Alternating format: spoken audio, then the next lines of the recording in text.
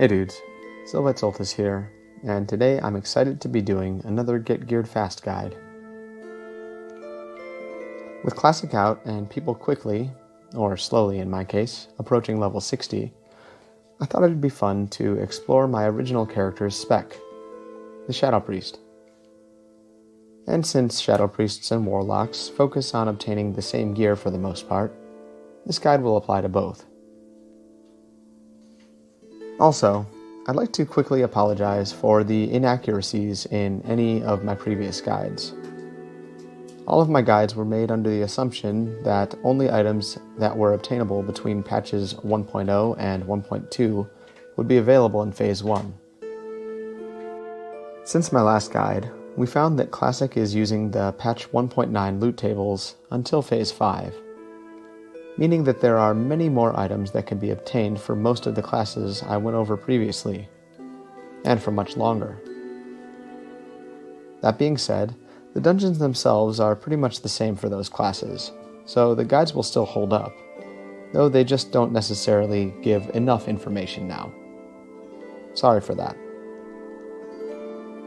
But anyway, with that little blurb out of the way, let's talk about how you can gear up your Shadowcaster fast whenever you cap between phases 1 through 4 of WoW Classic. As always, keep in mind that you can jump around the different steps as you please, so think of them more like to dos rather than steps. But yeah, let's get right into it.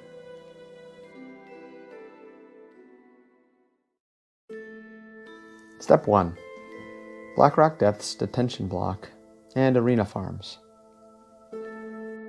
Starting at around level 50 or so, you should try to get into some BRD runs for the first portion of the dungeon, the detention block and arena.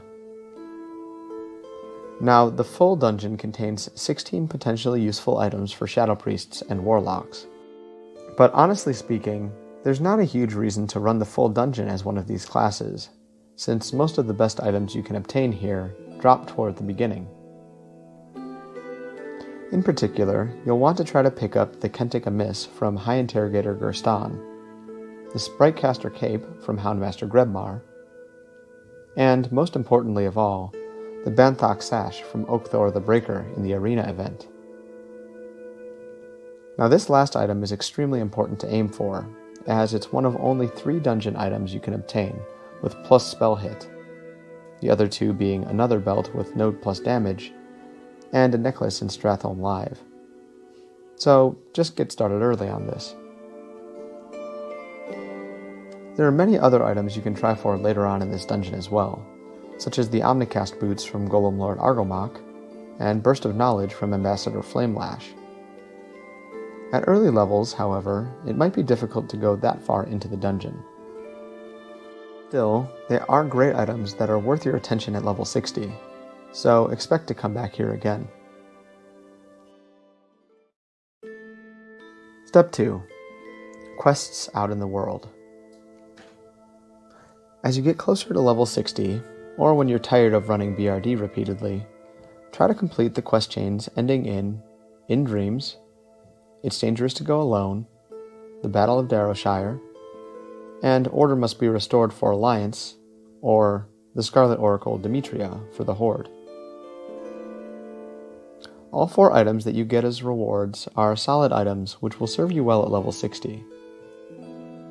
If you manage to get the cloak from Houndmaster Grebmar early on, though, you could skip in dreams. Or if you're a Shadow Priest, you could opt for the healing ring instead, to use when you're healing.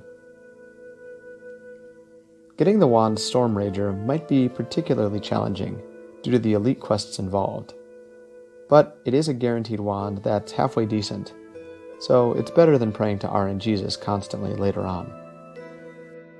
Here are the items that you can obtain from these quests, as well as which quests awards what item.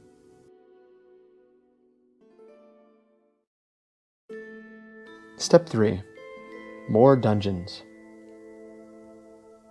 Okay, assuming that you are now at level 60 and you've done all the quests that you really feel like knocking out, it's time to focus on the dungeons.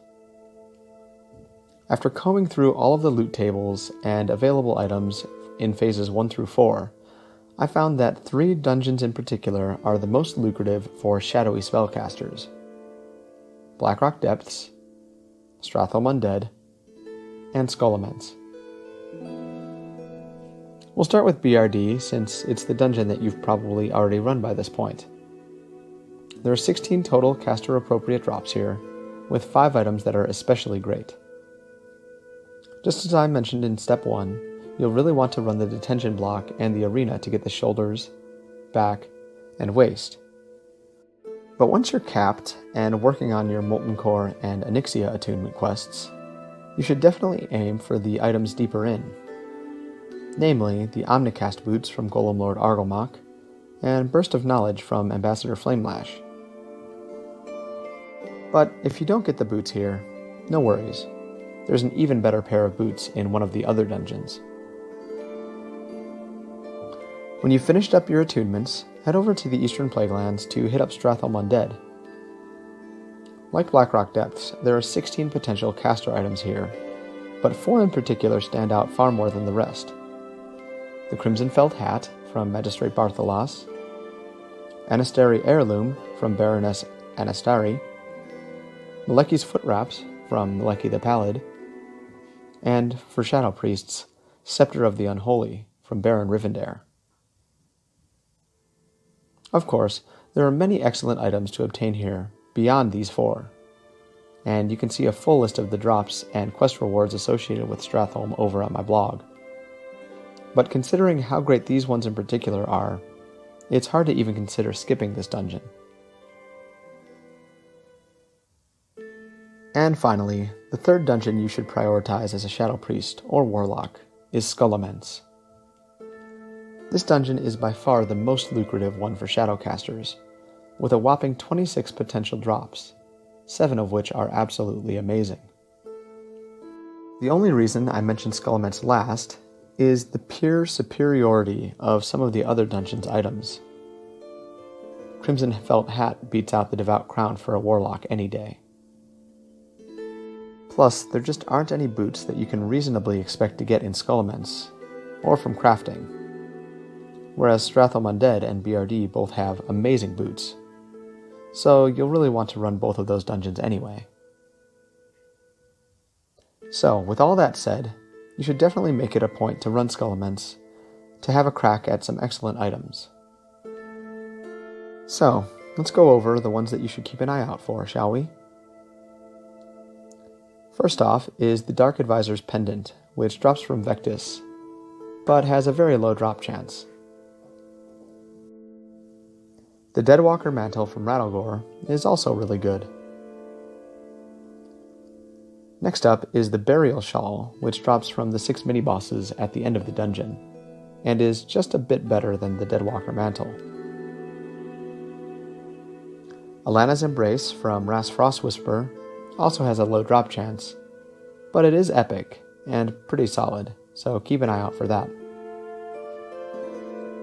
Clutch of Andros from Kirtonos the Herald is the other waist item that has hit.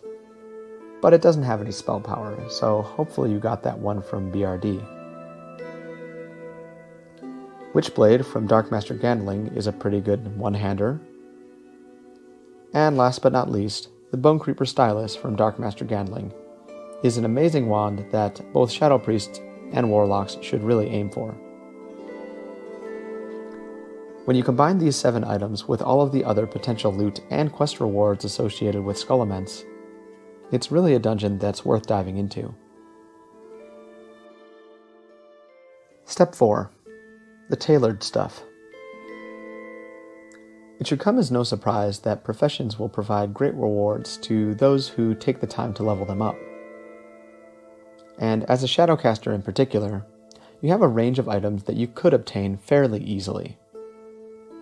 That being said, the dungeons will definitely be the more scenic route with friendly adventurers along the way.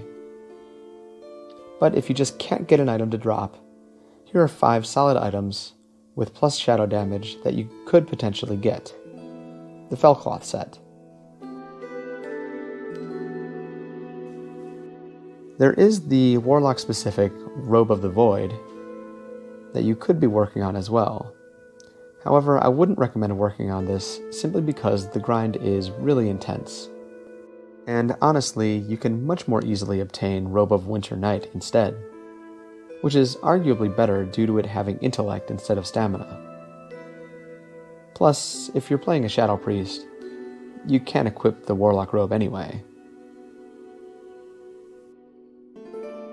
If it's still Phase 1, you should be pretty much done by this point.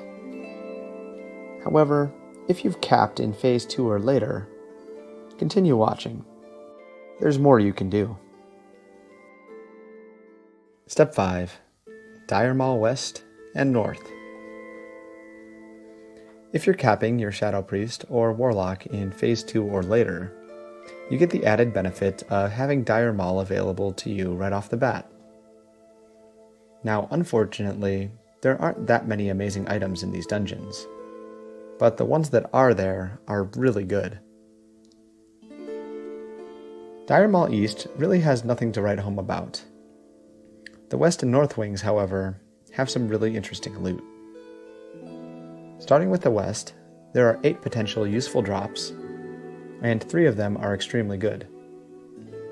They include the Amplifying Cloak from Magister Calandris, Robe of Everlasting Night from Immol'thar, and Blade of the New Moon from Immol'thar again. As always, there are many more items that drop, so take a look over on my blog on Blogspot for a full list there. Next up is DM North. This particular wing of the dungeon is home to 8 useful drops for Shadowcasters, with 2 of them being extremely useful. However, there are also 3 quests with excellent rewards that are associated with this wing, making it by far the most lucrative of the DM instances.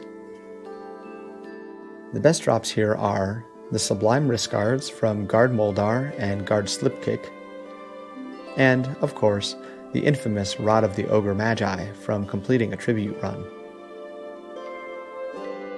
In addition to these, you can also obtain the questable rewards Beads of Ogre Mojo from Falrin's Vendetta, the Warlock's Trinket Royal Seal of Eldre'Thalas from the quest Harnessing Shadows, and Gordok's Hand Wraps from the quest Unfinished Gordok Business. All in all, it's a great dungeon if you're capping after Phase 1. Just make sure to get the quests. Step 6 Visit the auction house. Okay, you're all dungeoned out and getting really tired of summoning people or being forced to heal just to get a spot in the dungeon. Well, now what? As always, you can head over to the auction house and pick up some high level greens and blues. Just to round out your set, of course. Just remember, though, that people nowadays really know the value of some of these items, so you might need to spend a bit extra to get the best items. Still, it beats running Stratholme for the 700th time, I'm sure. Congratulations on getting your Shadow Priest or Warlock to level 60 and good luck with the gearing process. Obviously, this guide is quite extensive, as there's simply so many things that you can do to gear up in Classic. But that's part of the experience. It's worth noting that there are also some potentially great items in Blackrock Spire, like the Briarwood Reed, for example, as well as in Stratholme Live. But since the whole point is to get geared as quickly as possible, it didn't seem right to throw in those dungeons just for one or two items. Really, if you just do the quests, run BRD, Strat Undead, and Scholomance, then craft some items and check the auction house, you should be more than good to go for Molten Core and Onyxia, no matter what phase it is. But anyway, that's it for today. If you enjoyed this guide or found it useful, let me know by leaving a comment down below.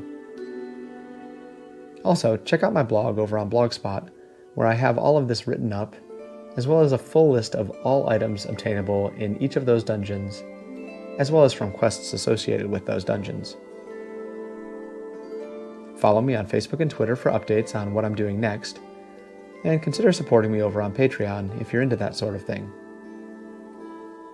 Thanks again for watching, and as always, take it easy, guys.